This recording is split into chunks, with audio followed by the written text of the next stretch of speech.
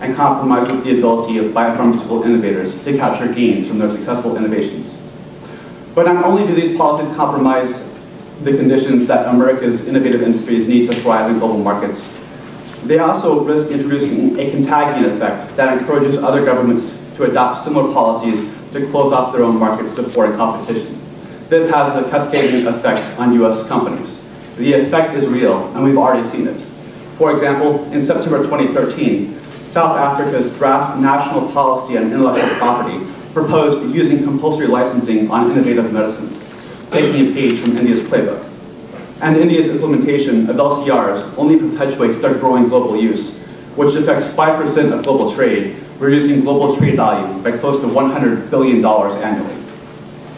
While India's innovation mercantilist policies affect many, many industries, I want to focus the rest of my comments on their impact on the ICT sector, particularly regarding India's onerous compulsory, compulsory registration requirements for ICT products and the PMA.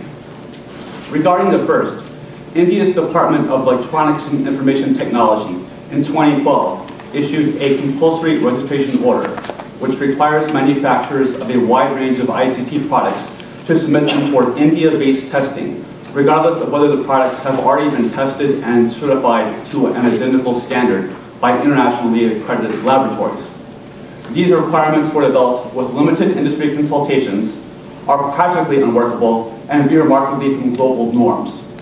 It's estimated that these compulsory registration requirements have caused U.S. and other foreign ICT enterprises to incur millions of dollars in new compliance and liability costs.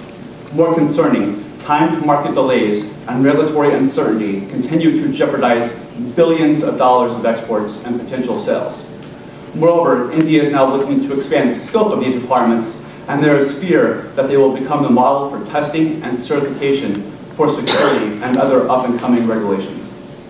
As for the PMA, in July 2013, India's government announced that it would review and suspend its PMA requirement as applied to private sector uh, procurements. ITIF applauds the Indian government for recognizing the concerns voiced by foreign governments, investors, and the international ICT community and rescinding the PMA's application to private sector procurements. Nevertheless, the PMA's continuing application to Indian government and SOE state-owned enterprise procurement activity threatens to significantly distort India's ICT market. The PMA will still impact at least one quarter of India's ICT market, and it will harm US ICT enterprises and ICT production. In fact, if India's PMA were to be fully realized, with India achieving the goal expressed by the Telecom Regulatory Authority of India in its 2011 telecom equipment manufacturing policy, of having 80% of India's demand for telecommunications equipment be met through domestically manufactured products by 2020, with at least 50% of that production being met by Indian products, then ITIF estimates that foreign imports of ICT products to serve Indian government procurement would decline by up to $6.5 billion in year 2020. ITIF further estimates that US-based ICT production to serve Indian government procurement markets would fall by an estimated $1.7 billion, costing the United States at least 10,500 jobs annually. It's also worth noting that many US ICT services firms provide managed solutions that depend on hardware as the basis for offering ICT services. If domestic hardware is required, it will compromise the ability of US firms to offer managed services to the Indian market. In conclusion, ITIF would like to stress that it would like to see India's economy grow at a very robust rate, returning to the economic miracle of 10% growth it once achieved.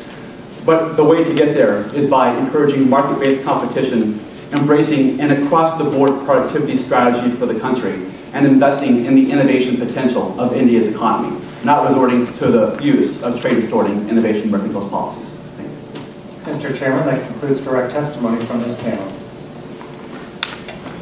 Thank you.